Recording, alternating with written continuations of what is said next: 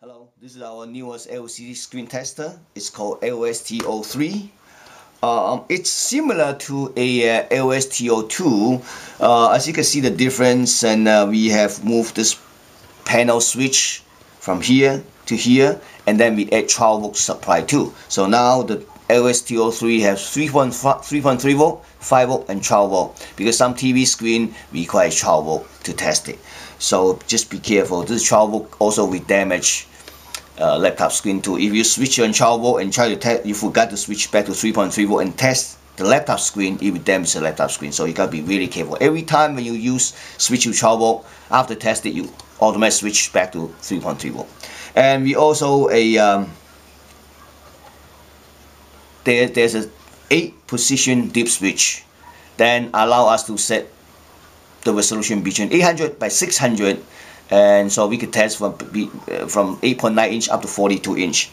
Um, there's inverter connector and there's no more 4 CPU connector because we don't need to using a DB01 to load the special drivers anymore.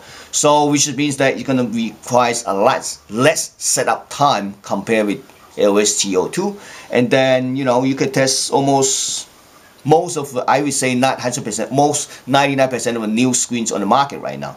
And um, on the side there's a switch.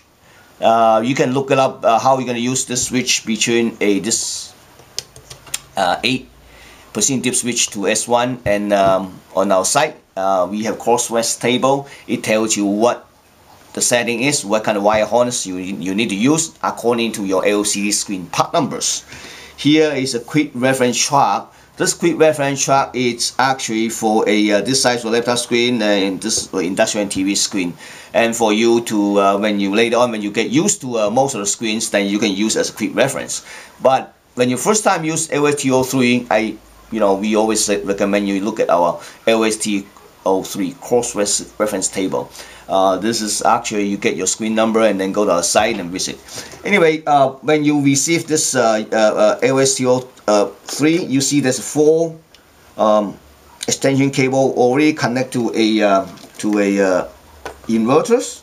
So and also there's a small letter label set do not remove CTL so please do not remove this. Just leave it as is. The reason uh, first we can uh, save a life on this connector. Instead of connect back and reconnect it. If you get damaged second we serve this wire as a load. So which means that the inverter will last much longer. And um, that's it. Thank you for watching